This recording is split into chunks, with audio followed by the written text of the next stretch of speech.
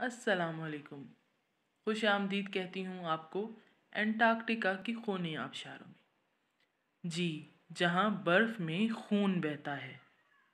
आपने बिल्कुल सही सुना, यहाँ खून बहता है। ये खूनी आबशारें 1911 में क्रिफिट टेलर ने दरियाफ्त की, जो कि एक एंटार्क्टिक साइंटिस्ट हैं।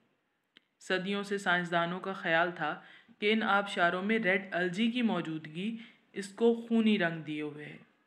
लेकिन कुछ नए हकाइक के पेश नज़र। एक हैरान कन बात सामने आई कि खूनी आबशारों में मौजूद पानी लाखों साल पुराने तालाब से आ रहा है, जो कि टेलर ग्लेशियर के नीचे मौजूद है। और तालाब का ये पानी आयरन से माला माल है।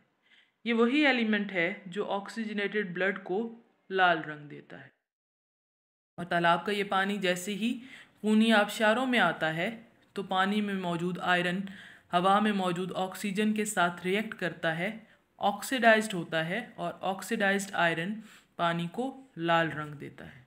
जिस वजह से ये पानी लाल रंग का हो जाता है और इसी बिना पे ये आबशारें खूनी आबशारें कहलाती हैं। उम्मीद है आपको वीडियो पसंद आई होगी।